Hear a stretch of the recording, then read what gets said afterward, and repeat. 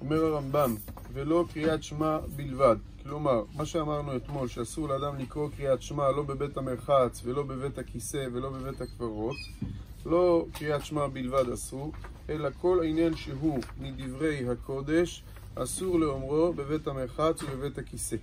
אפילו אמרו בלשון חול, גם הוא יגיד אותו בלשון חול, על כל פנים, הדבר הזה הם דברי קדושה. ואז, אומר, ואז ממילא, גם כשאדם אומר אותו בלשון חול, יש בזה שתי בעיות. או שעצם תרגום דברי תורה ללשון חול גם הוא אסור, זה גם נחשב דברי תורה, או שעל כל פנים הוא מהרהר בדברי תורה, גם כשהוא אומר את זה בלשון חול, אבל הוא חושב על מה שהוא אומר. וגם ערעור אסור. ולא לאמרו בלבד, אלא אפילו להרהר בליבו בדברי תורה בבית הכיסא ובבית המרחץ ובמקום הטינופת, והוא המקום שיש בו צוהר מרגליים, אסור. כלומר, כיוון שהמקומות האלה מקומות שהיה מחנך קדוש, כל הדברים שבקדושה צריכים להיאמר במקום קדוש, לכן גם ההרהור בדברי תורה או בדברי קדושה במקומות האלה הוא אסור. דברים של חול, סתם אדם מדבר דיבורי חול, מותר לאומרן בלשון הקודש בבית הכיסא.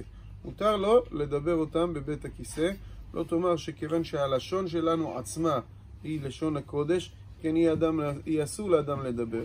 כשאדם נמצא בבית הכיסא, איזושהי סיבה, הוא צריך לבקש משהו, שואלים אותו איזושהי שאלה בבית והוא צריך לענות. מותר לו לענות. וכן הכינויים, כגון רחום וחנון ונאמן וכיוצא בהן, מותר לאומרן בבית הכיסא. גם כל הכינויים האלה, גם הם מותרים באמירה שמה. המקובלים החמירו בעניין הזה של דיבור בבית הכיסא בצורה חריפה מאוד, אבל לפי הפשט, כאמור, אין בדבר הזה אסור.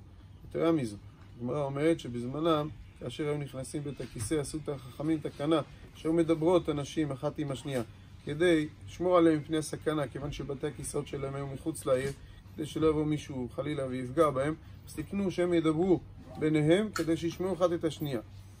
אבל השמות המיוחדים והם השמות שאינן נמחקים, כלומר כל שם משמותיו יתברך שאסור למחוק אותם, אסור להזכירן בבית הכיסא ובבית המרחץ ישן.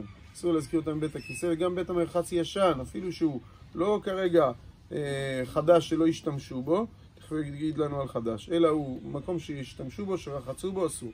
ואם יזדמן לו להפריש מן דבר האסור בבית המרחץ או בבית הכיסא, מפריש.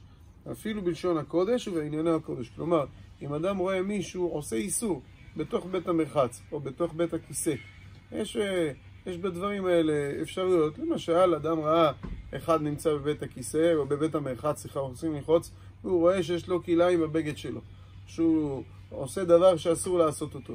או שהוא בעצמו אומר כוונות, יש כאלה שהולכים לטבול בימים נוראים, מוצאים פתאום איזה סידור עם כוונות, מתחיל לכוון כל מיני. אתה עושה? אתה בבית המרחץ, אסור לעשות מה. אתה בעצמך אומר לי הלכות. אתה מדבר על מי שאסור ואתה עושה איסור? לא, זה להפרושי מאיסורא. להפרושי מאיסורא, מותר להפריש את האדם אפילו בלשון הקודש, אפילו בענייני הקודש. כלומר, זה אסור לפי ההלכה מה שאתה עושה. זה עצמו הלכה, נכון, אבל כיוון שזה נועד להפרושי מאיסורא, הדבר הזה מותר. ברוך ה' לעולם, אמן ואמן. רבי חנינא בן הקשה אומר, יצא הקדוש ברוך הוא לזכות ישראל. לפיכך ריבה להם תורה ומצוות שנאמר, אדוני חפץ למען צדקו, הגדיל תורה